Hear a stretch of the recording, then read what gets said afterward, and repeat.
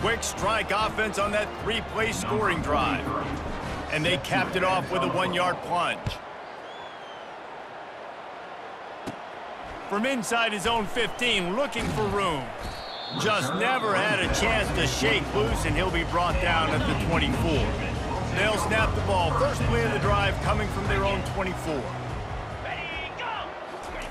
He'll start this drive firing. Unloads to the wideout. Right on the money to the outside. He dragged the toe, and how about the ball placement? Only the receiver could get it. One more play to pad the stats.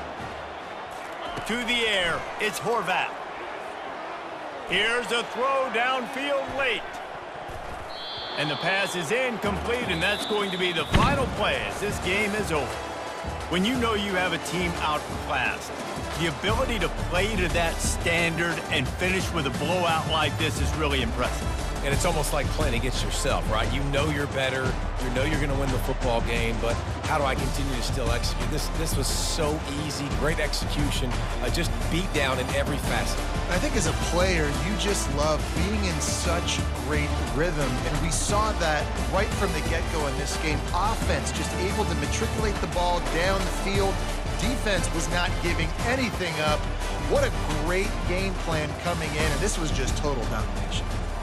So that's going to do it for us. For Jesse Palmer, David Pollack, I'm Rece Davis saying so long. This has been another presentation of EA Sports College Football.